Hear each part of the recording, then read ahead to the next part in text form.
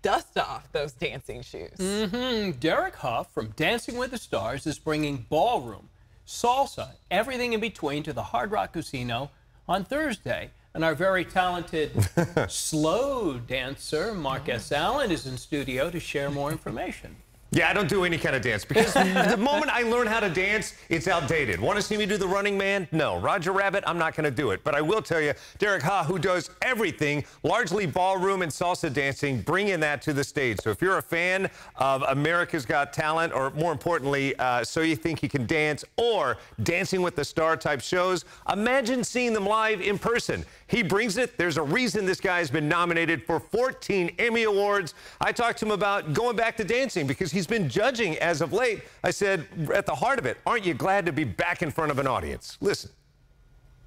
I mean, without a doubt, you know, I think that it's the audience, the audience reaction, the audience relationship that you, that shared energy that you create in the room is, is what it's really all about. You know, I think um, we just did a run through of our show for the tour a couple days ago, and we had a little small audience of 20 people watch it in the studio who had never seen it before and you know they were all in tears. The reaction is so like genuine and so uh, so raw that it just it's it's what it's all about.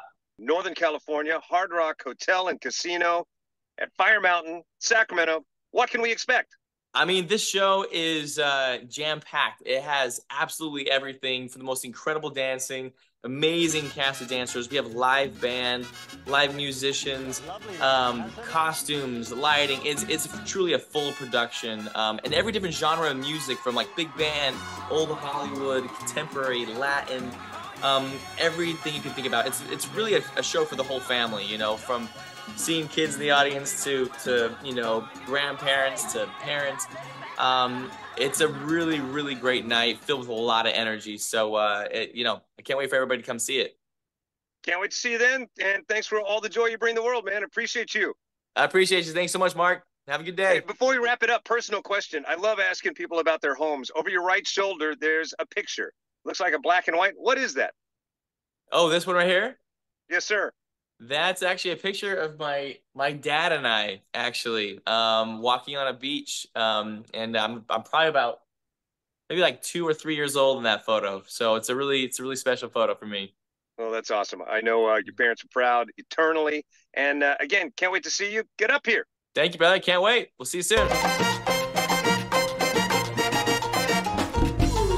How cute is that? A picture of he with his dad. Yeah, I anytime I zoom with stars, I'm always like looking over their shoulder, hoping they left something out they weren't planning on leaving out. Uh, anyway, yeah, coming uh, live in person. Tickets still available. It's at the Hard Rock Fire Mountain. And in case you're wondering why they call it Fire Mountain, the indigenous tribe, Maidu tribe, that settled that area, that's part of their origin story, Fire Mountain. So that's it. It's about 20 miles that way and worth the drive.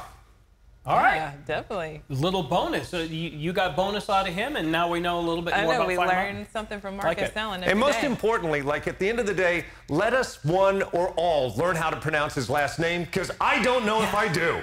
We're working on it. All I right. don't know. I, but you know what? He's going to be good regardless if we can say his name or not. He doesn't need us, right? That's one. Thank you, Mark. Mark thanks.